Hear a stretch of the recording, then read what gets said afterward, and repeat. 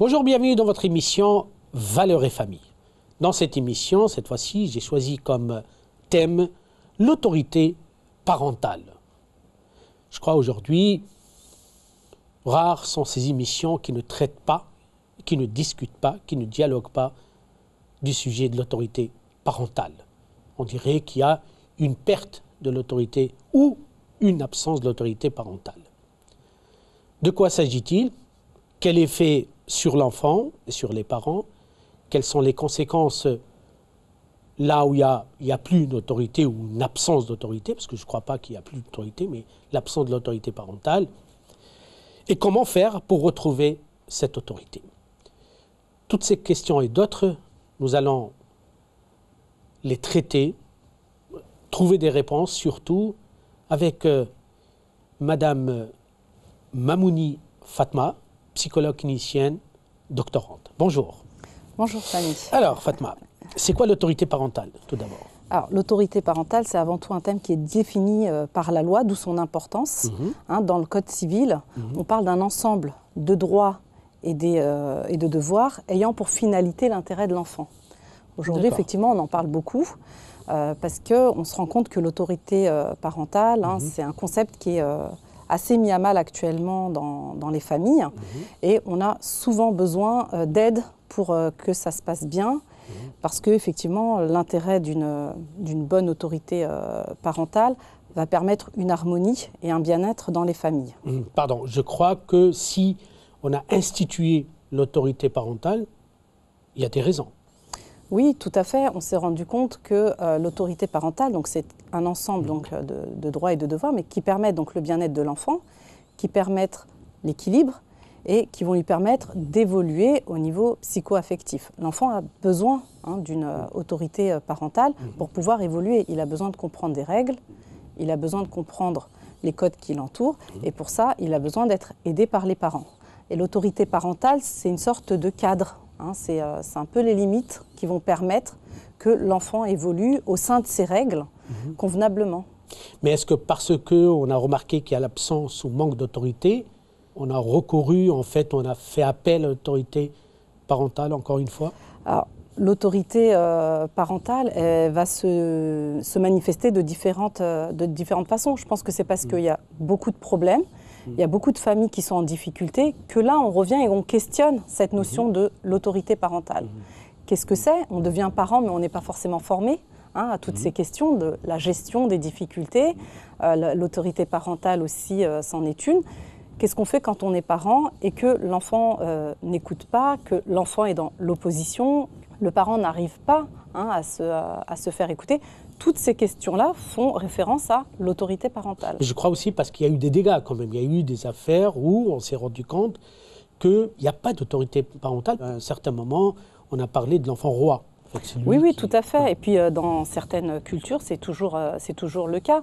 Mais effectivement, il y a eu des cultures en fait. Bah, quand on regarde par exemple en Angleterre, hein, en Angleterre, c'est vrai que euh, autour de l'enfant, il y a une très grande permissivité et mhm. que bon, les parents n'osent pas toujours mettre des limites aux enfants.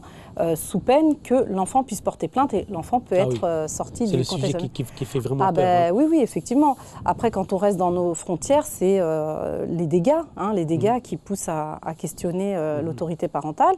Parce que, bon, les parents, pour les parents, c'est souvent flou cette histoire d'autorité parentale. Et on a des parents aussi qui ont peur de, mm-hmm. de déborder. Mm. Hein. comment est-ce qu'on pose une autorité parentale suffisamment bonne? Ça dépend d'énormément de paramètres. Hein. Mm. L'autorité parentale d'un parent, dans sa façon de s'exprimer, ne peut pas s'exprimer forcément de la même façon dans une autre famille. Ça va dépendre de la personnalité des parents, mais aussi de celle des enfants. Ça va dépendre du contexte, hein, l'autorité parentale par rapport à quoi. Et ça va également aussi dépendre de ses propres possibilités et capacités dans la bah, situation. Pardon, moi, moi ma question, c'est euh, qu'est-ce qui a fait qu'aujourd'hui on reparle ou on parle? On en revient de plus en plus. Et oui, parce qu'on s'est rendu compte qu'il y avait beaucoup de défaillances. Dans cette dans les bah, dans l'organisation des familles. Alors après, si euh, on regarde euh, au niveau des différentes tranches d'âge, on va voir que euh, il y a de plus en plus d'enfants qui sont dans l'opposition par rapport aux parents, Et donc là, euh, on se pose la question de l'autorité parentale. On a très souvent les intervenants extérieurs, donc ça peut être des enseignants, ça peut être des médecins, ça peut être des intervenants dans d'autres contextes, qui vont se rendre compte que le comportement de l'enfant n'est pas adapté. Et là, pour eux, c'est à ce moment-là, on va quand même questionner aussi des choses qui peuvent se passer à la maison. Pardon, on va, on va prendre peut-être un exemple. Là, là, il y a une alerte, en fait, voilà, ce qu'on appelle une alerte de la, de la part de l'enseignant, de la, de la, de oui, sociale, exemple, etc., tout à fait, que tout à fait. cet enfant, peut-être il est maltraité, peut-être... Mais quel est le rapport avec l'autorité familiale? C'est ça ce que j'arrive pas à comprendre. Ben, si on se rend compte que euh, à l'école, par exemple, l'enfant a un comportement qui... Euh, Douteux ou bien... Voilà, des problèmes de comportement, mhm. qui déborde, qui ne respecte pas les limites, on essaye de, de voir comment ça se passe à la maison. Ah d'accord, c'est par rapport aux limites ah bah, il y a un débordement. Donc c'est que l'enfant n'arrive pas à, respecter les, donc, les limites. parle d'autorité euh, parentale, l'autorité parentale, c'est que oui, tout à fait. C'est poser les, limites. Ah oui, complètement. C'est un cadre. L'autorité parentale, c'est un cadre. Hmm. Hein, effectivement, c'est une question de, de limite. Hein, on voit bien les parents, ils le disent eux-mêmes. Hein, quand on voit les parents, quand je reçois des parents en consultation, euh, l'enfant n'écoute pas, ils vont tout de suite dire j'ai du mal avec l'autorité parentale. Ah oui, carrément. Ah ben oui, c'est que les parents lui-même, il est conscient ah ben qu'il a un problème d'autorité parentale. Parce qu'ils voient très bien que les enfants n'écoutent pas. Les enfants sont dans l'opposition, les enfants testent les limites et les mhm. parents n'y arrivent pas, sont complètement dépassés. Mais oh, oh, par quoi on peut le comprendre cette cette défaillance, cette, difficulté que des parents puissent avoir une autorité C'est quoi exactement? Est-ce qu'on a des explications aujourd'hui Oui, tout à fait. Il y a plusieurs cas de figure. Alors, on a des parents, et c'est eux qui le disent, hein, ils vont dire qu'ils euh, ont euh, du mal euh, à se confronter à l'enfant. Très souvent, ça apparaît à l'adolescence. Hein. C'est à l'adolescence qu'on a les, manifestations les, mhm. plus, les plus compliquées. Mhm. Donc, la personnalité de, de l'enfant. La vie sociale du parent. Prenez une mère seule, ça va être beaucoup plus difficile face à un, adolescent.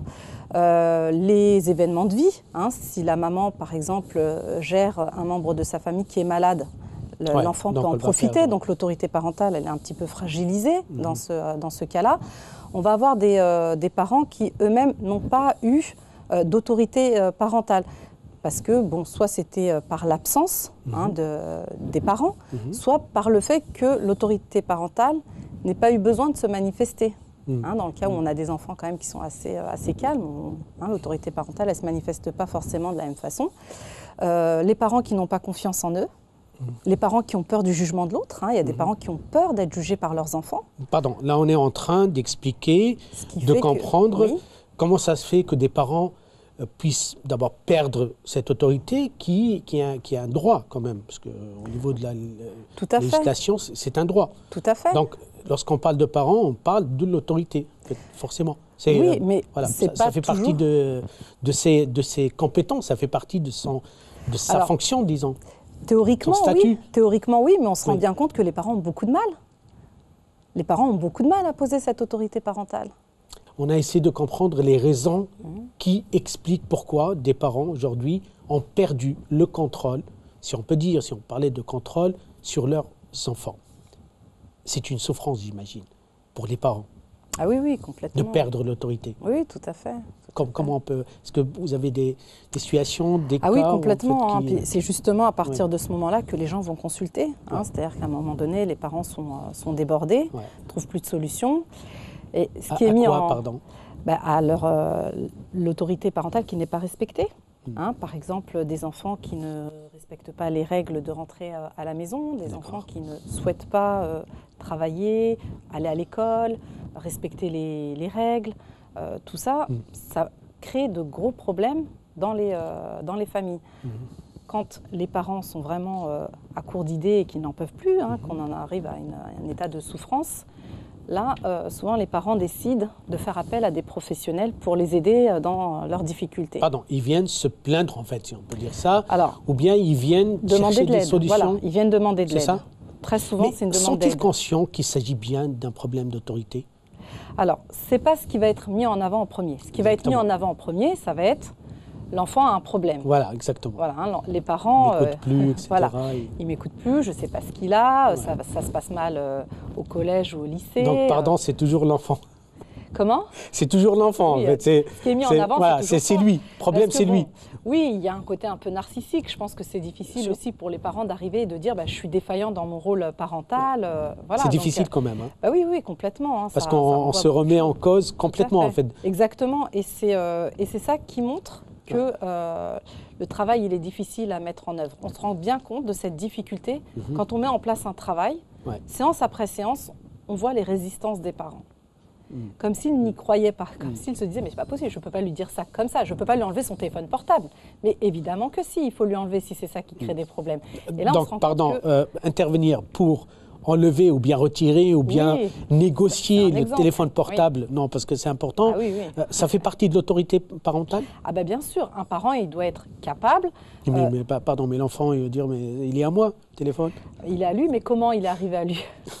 Par les parents. Donc déjà, à la base, la question du téléphone, les parents déjà doivent se poser la question de comment on introduit un téléphone dans la vie de l'enfant, avec tous les soucis que ça peut poser. Bien sûr. Donc déjà, à la base, et on voit aussi des problèmes d'autorité parentale quand ce sont des enfants qui imposent d'avoir un téléphone. Ah oui. En Eh fait, oui. Ils, imp- oui, en fait, ils, ils persistent, ils insistent.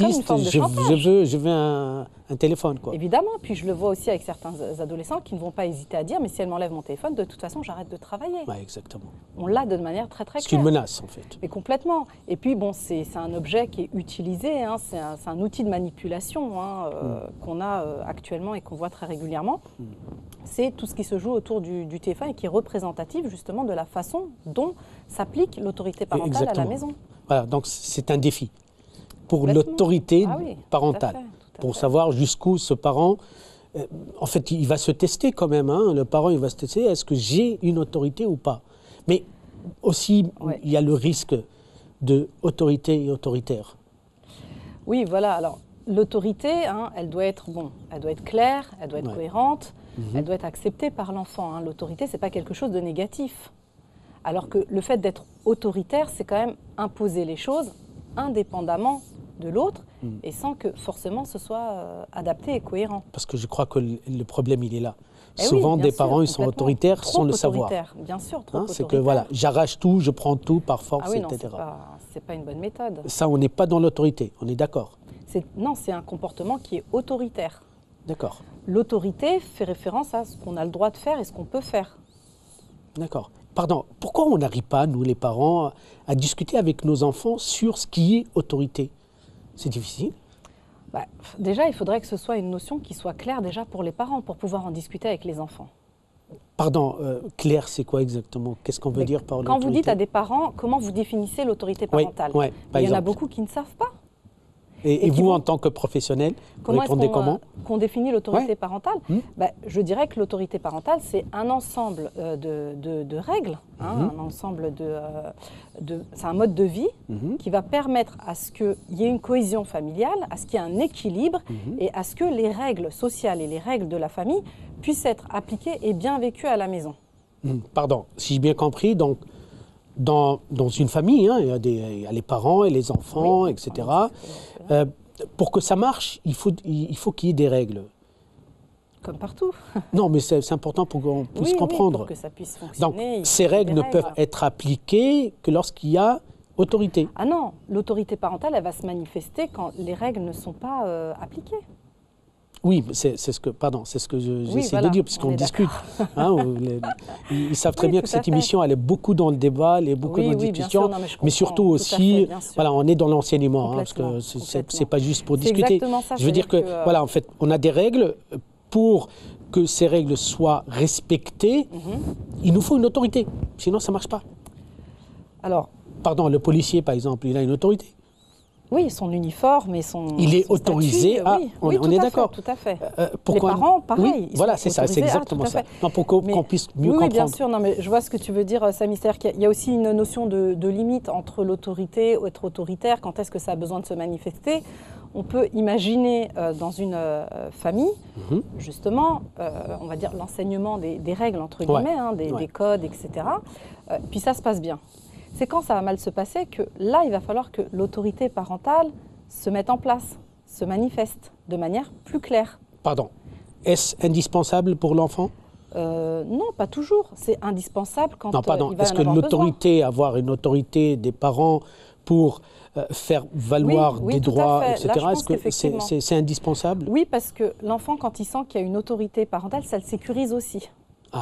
Ah. Ça le sécurise aussi. Ça, c'est un élément, je crois, très important. Ah bah complètement, ça participe de Donc, son pardon, l'absence de l'autorité, ça insécurise Ah l'enfant. oui, tout à fait, complètement. Euh, Est-ce qu'on peut donner un petit exemple comme ça, en fait?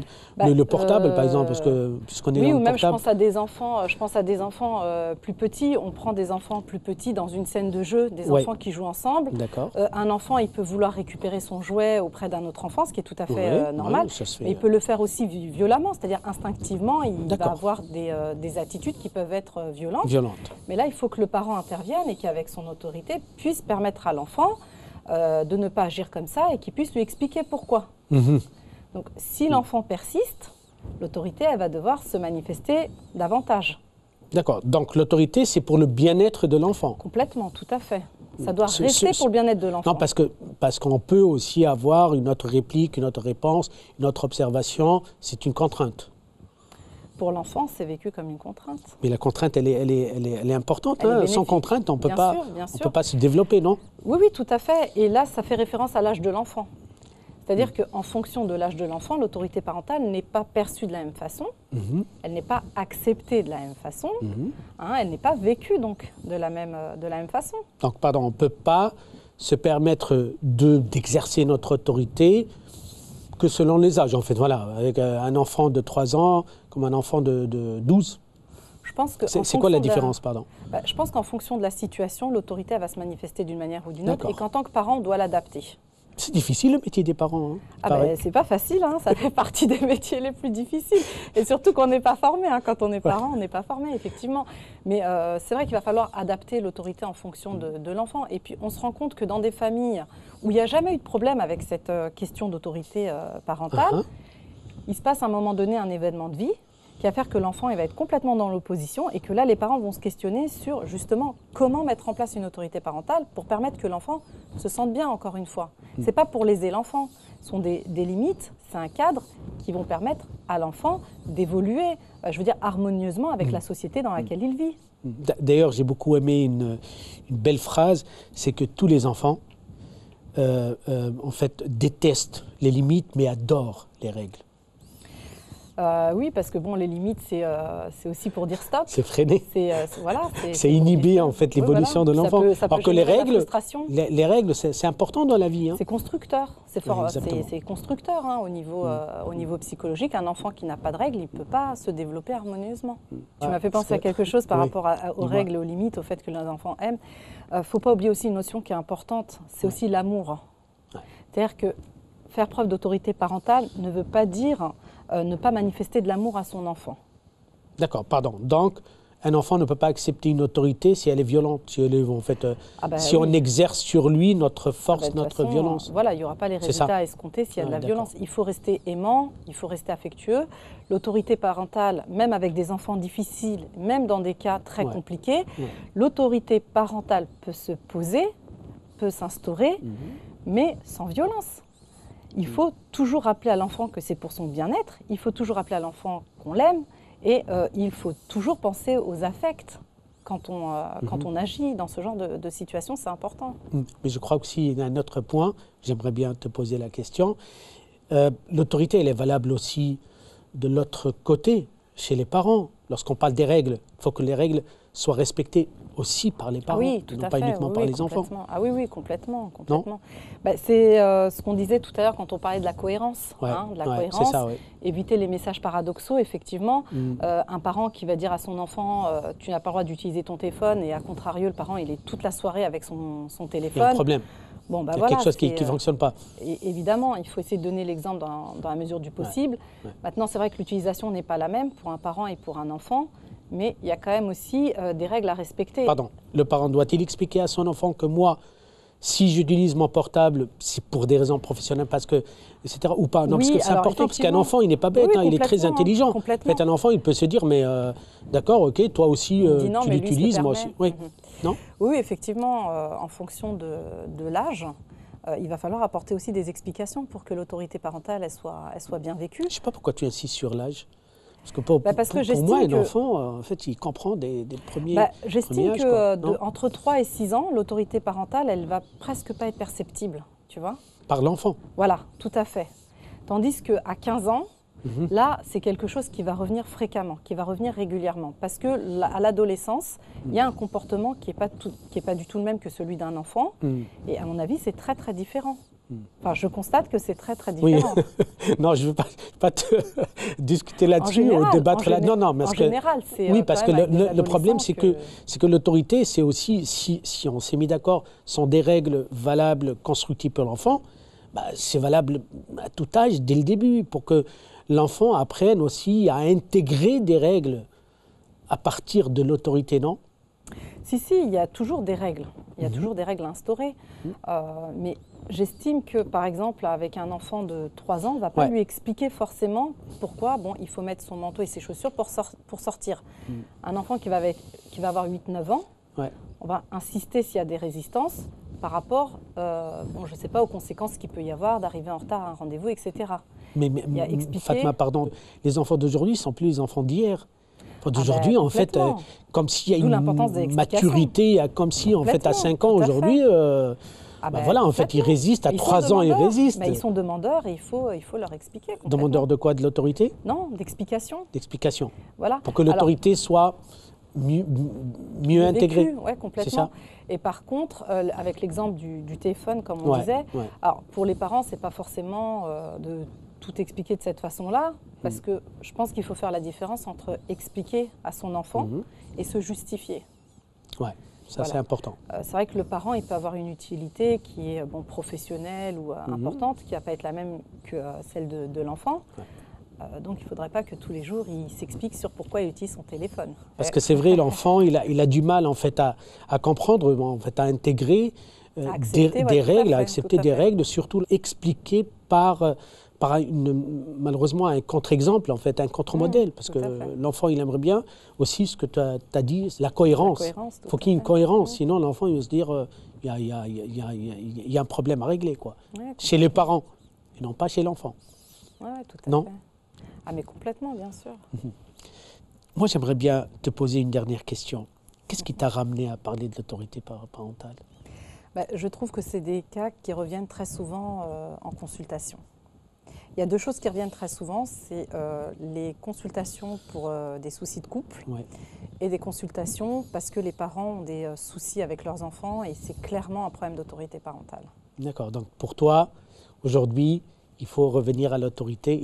En fait, il faut remettre aux parents ce qu'ils ont de droit, non? Bah, Je pense qu'il faut déjà aider les parents. Tu comprends, Samy? Il faut aider les parents. Si on ne comprend pas ce que c'est, on va avoir du mal à le mettre en place. Je pense que les parents ont besoin d'être aidés et comprendre c'est quoi cette histoire d'autorité parentale mm. et surtout quels en sont les bénéfices. Pourquoi c'est important, effectivement. D'accord. Donc euh, les bénéfices d'autorité parentale sont énormes pour les parents, pour qu'ils ne souffrent plus, et pour, les enfants, pour qu'ils ne souffrent plus aussi. Voilà, c'était votre émission Valeurs et Famille. Le thème, euh, c'était l'autorité parentale. Mon invité, c'est Madame Mamouni Fatma, psychologue doctorante et conférencière. Je vous remercie et à la prochaine fois.